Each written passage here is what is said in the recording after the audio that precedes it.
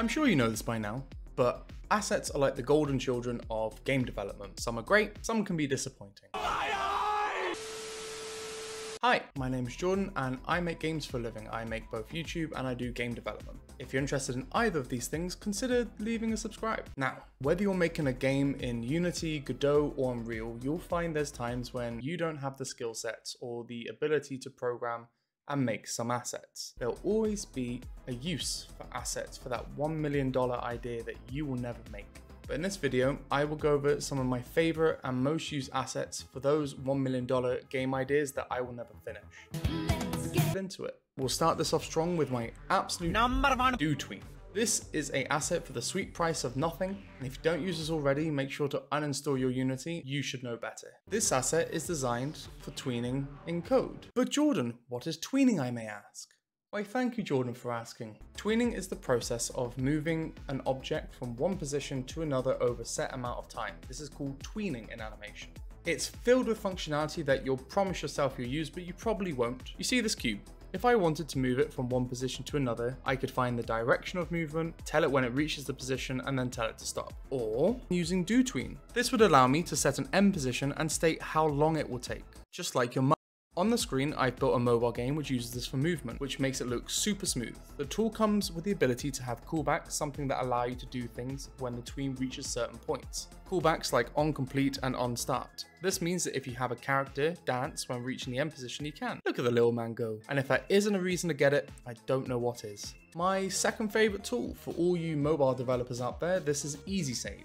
Probably the most expensive here, around 70 euros. It's a bit steep, but it's good, so hear me out. Now, if you're anything like I am, purely a game developer, JSON files might be a bit scary for you. That's where Easy Save comes in. Its job is to save and load. It saves a lot of Unity types natively. This means that you can automatically save stuff like floats, ints, vector 3s, vector 2s, and for especially mobile games, this is really useful for storing in-game data. And now let's take a break for our sponsor, me. I don't have enough subscribers yet, which is why you should subscribe. These are the people that are watching that aren't subscribed. I know who you are. Don't make me come over there. It's time for the most important asset, the king of assets for game development, the in-game debugger. Now tell me, have you heard this before? You're on your phone testing out the next quadruple A mobile game, first of its kind, but you get an error. This breaks your morale, you hide in fear of more crashes because you don't know what's caused it. You give up on game development and go back to working for actual money and not on personal projects. Well, look no further than the in-game debugger, with the ability to show you all the messages, errors, and warnings inside of the build itself. No more using that horrible developer console that just spews out rubbish. But honestly, this asset is fantastic. I don't honestly know how I went so long without using it. It's a free asset that allows you to debug all of your issues in runtime in a build. And if I didn't have this, I wouldn't get anywhere and I'd be broke. Next is the hyper casual hats. Who messed with my script? For my fourth pick, it's entirely utility based, it's the Odin Inspector.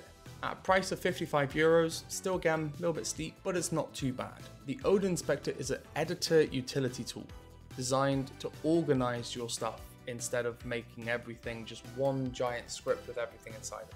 No longer will you have a character class with every variable just top to bottom. You can now have them organized like this. For a few attributes that you add to certain variables, you can start organizing your code in a way that makes sense and is categorized.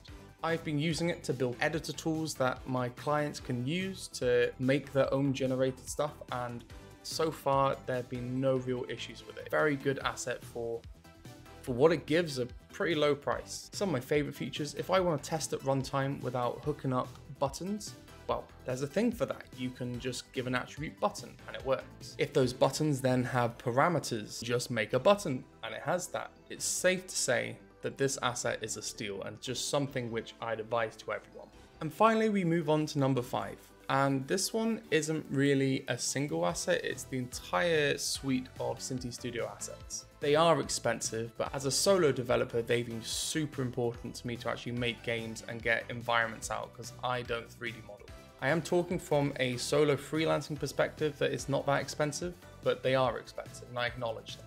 If you need something that is low poly, works well, is well optimized for games in general, since they all use a small portion of textures for a large scale of models, then this is your way to go. If you want something a bit more textured and detailed, probably not your best approach. And with that, that is my five done. So you've reached the end of my video. I just wanted to say thanks. I'm proud. If there are assets that you use that I haven't brought up, I would love to hear what they are. I personally try and use the most useful assets in all my projects. It kind of helps speed up my workflow. I don't like things like pre-made game engines like the Corgi engine.